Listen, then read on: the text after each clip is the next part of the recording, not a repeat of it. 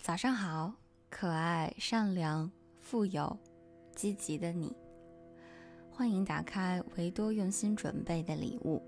第一期的维多之声将带你一起为即将开始的新一天做好准备。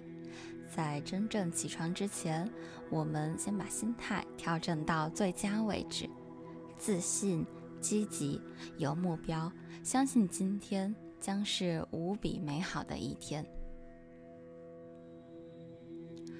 现在，请把双手重叠，轻轻放在你的心脏上，感受它有力的跳动。你感谢过你的心脏从你出生起就片刻不停的工作吗？如果不是它，我们根本没有可能存活在这世界上，享受任何美好。请和我一起默念三遍。谢谢你，谢谢你，谢谢你。现在，请面朝天花板，平躺，放松的把两条腿伸展开，双手仍然放在你的心脏上，感受你对他的谢意。此刻，你是不是舒舒服服的躺在给予你一夜睡眠的床上？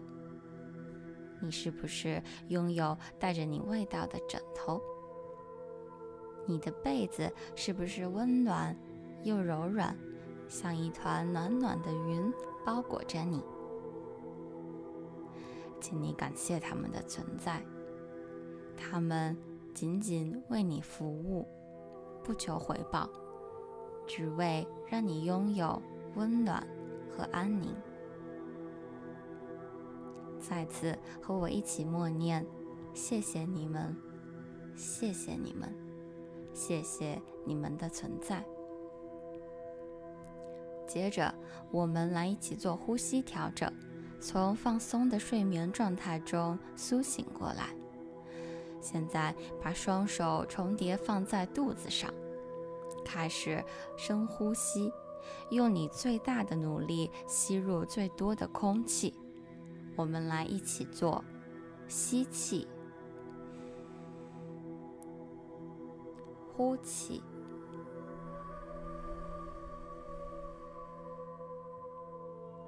感受你放在肚子上的手，因为空气的进入被腹腔升起的感觉。在你呼气的时候，体会腹腔排出空气，手跟着肚子下落的动作。我们再来一次，吸气，呼气，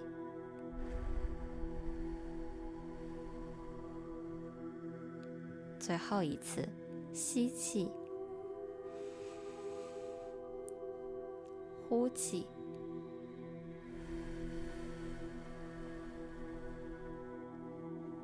现在我问问你。对你来说，今天世界上最重要的东西是什么？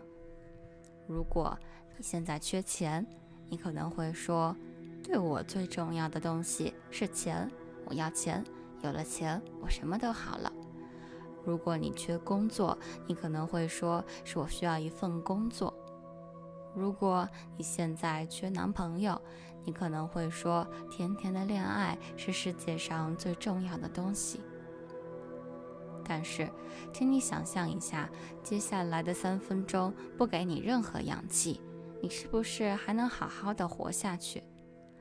我们理所应当的享受着无穷无尽的氧气，我们从来不用担心吸完这一口，下一口氧气从哪里来。为此，我们要对我们的呼吸和无穷无尽的氧气说声谢谢，感谢他们。支持我们的存在，支持我们的生命。社会教会我们专注于我们缺失的东西，让我们感到不如别人，低人一等，需要加倍自律才能迎头赶上。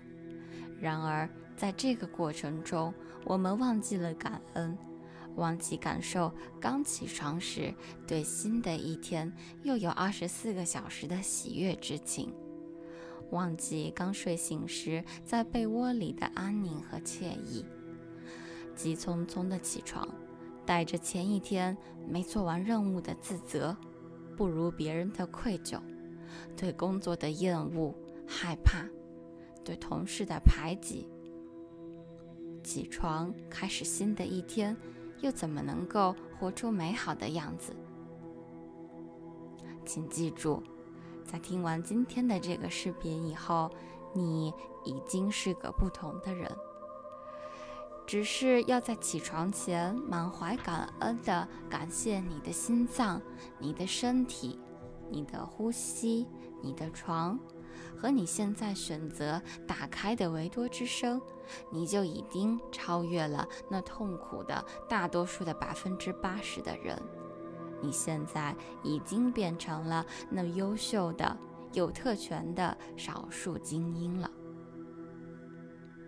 当你起床前就深深感恩时，根据吸引力法则的定律，你会在今天吸引来更多值得感恩的情境，比如愿意帮助你的陌生人、同事、同学、朋友，他们突然愿意提供给你无偿的帮助。或者你一直想买的某样东西刚好今天打折，你申请的职位突然联系到了你；又或者你一直心心念念的理想男友突然来到你身边。学会感恩，就好像是让你学会了最强大的魔法。想想你每次说感谢，就像是在一个大的游泳池里扔一块小小的吸铁石。你感恩的次数和事物越多，你池子里面的吸铁石就越来越多。等你把它养成一个习惯，多到游泳池里再也放不下你满满的谢意的时候，吸铁石就会自己开始工作，吸引越来越多值得感恩的事情来到你的身边。如果你可以，请和维多一起。逐渐养成遇到事情就感恩的心态。如果今天遇到影响心情的所谓的坏事，请你先不要着急、沮丧、生气、抱怨，先想一想这件事的出现到底是想告诉我什么？为什么它会在这个时候出现在我身上？记住，凡事发生都不是偶然，凡事发生。都有利于我。在你的人生中，一切都是完美、完整和完全的。你拥有创造自己的力量，你也拥有塑造理想人生的力量。你的人生注定要从成功走向另一个成功，从荣誉走向另一个荣誉。我爱你，请你。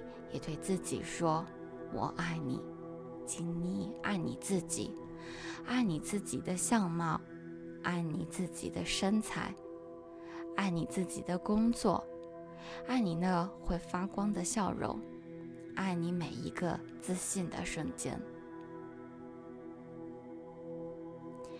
欢迎来到新的一天，你的世界里一切都好。”